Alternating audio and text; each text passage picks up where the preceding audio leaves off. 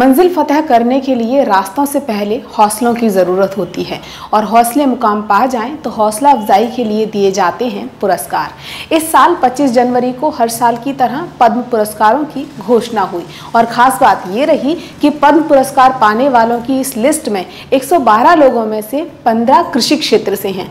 दोस्तों, ये पहली बार है आज़ादी के सात दशक में जब किसानों को पद्म पुरस्कार दिया जाएगा। वो भी कृषि क्षेत्र में सराहनीय योगदान के लिए। कई चेहरे इनमें ऐसे हैं जो खेतों में हर दिन बुलंदी की एक नई कहानी लिख रहे हैं। कुछ ऐसे हैं जो पशुपालन मत्स्य पालन में बुलंदी पर हैं और एक चेहरा ऐसा भी है जिसे आप नाम से भले न जाने, लेकिन पहचानते ना हो, ये हो ही नहीं सकता।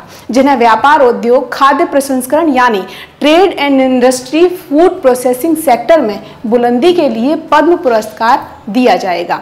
इनका नाम है महाशय धर्मपाल गुलाटी। मैंने पहले ही कहा, नाम से शायद आप ना पहचाने। ये हैं एमडीएच ग्रुप के ओनर महाशय धर्मपाल गुलाटी। विश्व के सबसे उम्रदराज एड स्टार उम्र है पिचानवे के पार, लेकिन हौसला जवानों से भी चार कदम आगे।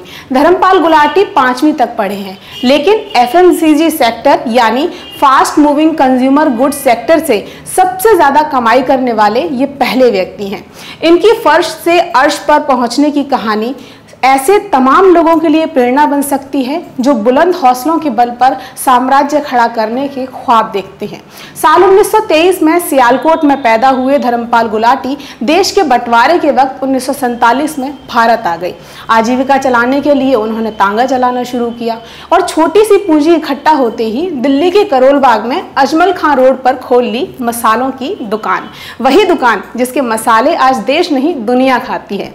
एमडीएच यानी महाशयंदी हट्टी। एक छोटी सी दुकान से सफ़र की शुरुआत करने वाले धर्मपाल गुलाटी आज भारत और दुबई में 18 मसालों की फैक्ट्रियाँ रखते हैं। एमडीएच के बासठ प्रोडक्ट बाज़ार में हैं, जिनके स्वाद की दुनिया दीवानी है और उत्तरी भारत के 75 फ़ीसदी बाज़ार पर एमडीएच अपना कब्जा बताता है। धर्मपाल गुलाटी की छह बेटियाँ हैं और एक बेटा है, जो इस पूरे कारोबार को संभालने में उनकी मदद करते हैं। धर्मपाल गुलाटी को उनके नाम से कोई भले न जानता हो। लेकिन ये वो चेहरा है जिसे आपने कभी देखा ना हो, ऐसा हो ही नहीं सकता। और ये सब मुमकिन हुआ हौसलों से।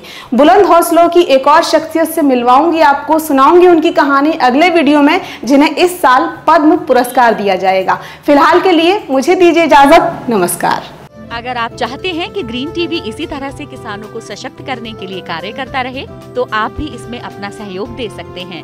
डिस्क्रिप्शन पर जाकर दिए गए लिंक पर क्लिक करें, पेटीएम करें एन और क्रेडिट कार्ड के ज़रिए भी आप हमें सहयोग दे सकते हैं देखिए ग्रीन टीवी यूट्यूब पर भी, बस सब्सक्राइब करें और बेल आइकन दबाएँ।